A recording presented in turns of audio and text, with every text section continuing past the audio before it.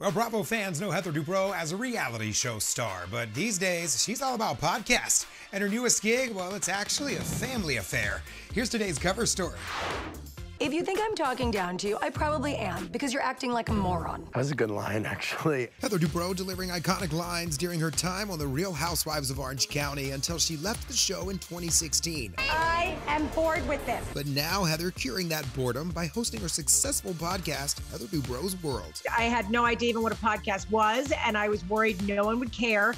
And Drew Pinsky, Dr. Drew, I, you know, because I was thinking I needed segments and this and that. And he was like, no, Heather, podcasting is really just people want to hang out with you for hour. I'm like, are you sure? Do they like me? Are you sure?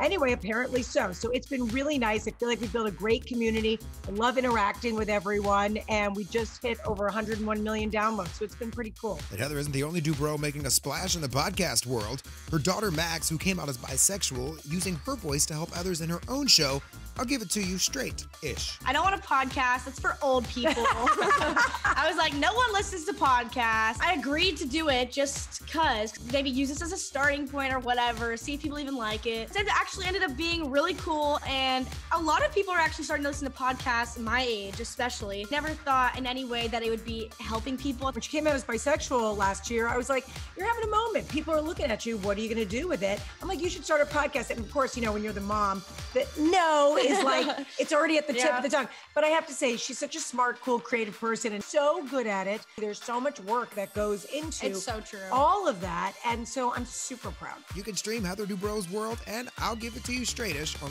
all podcast platforms.